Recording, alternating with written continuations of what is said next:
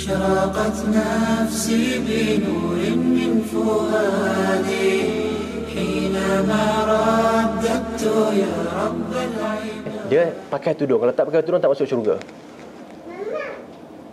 Okay? Jadi orang yang dengar tu dia terperanjat kan. Maksudnya mak saya tak mak saya, nenek saya semua tak masuk syurga. Yang kita huraikan, kena huraikan bahawa uh, siapa tak pakai tudung dia berdosa. Betul tak? Okey. Dosa ni, dosa kecil ke dosa besar? Dosa besar. Siapa yang buat dosa besar, kalau dia beriman dan kalau dia mati sebelum dia bertaubat, apa risiko yang ada pada dia? Risikonya ialah sama ada diazab oleh Allah Subhanahu Wa Taala atau itu risiko tak baiklah. Risiko yang baik diampunkan oleh Allah Subhanahu Wa Taala. Kerana itu dosa besar, bukan kufur. Bukan syirik.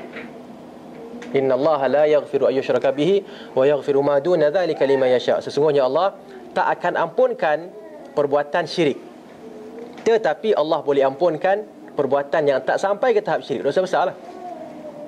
Okay? Ha, ini ahli sunnah punya akidah. Dan kita huraikan begitu.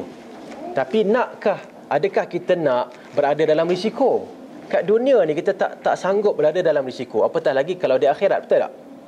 Kan kalau contohnya risikonya uh, siapa yang langgar uh, contohlah kan langgar lampu merah kata 10 orang dia dia akan jadi 5 orang masuk jail 5 orang tak masuk jail kita nak langgar tak? Ha? Kita langgar pasal pasal kita ni mungkin masuk yang 5 tak masuk jail Uh, ada tak orang fikir macam tu? Tak ada. Ini ini ini azab dunia baru. Sepatutnya azab akhirat lebih berhati-hati Ha, so kalau kita bagi begitu dan kita pun bagi uh, semangat kat dia supaya tak apa yang pentingnya orang dulu kita tak hukum. Kan? Okey, macam Firaun tanya kepada Nabi Musa alaihi salam, "Fama balul qurunil ula?"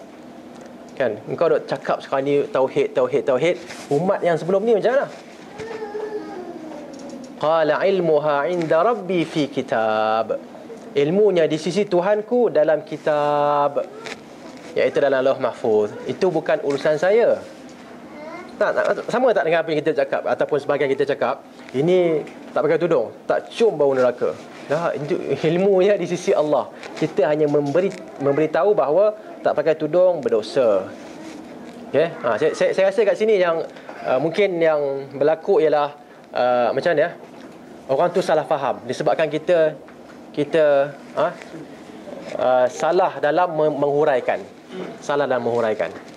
أشرقت نفسي بنور من فؤادي حينما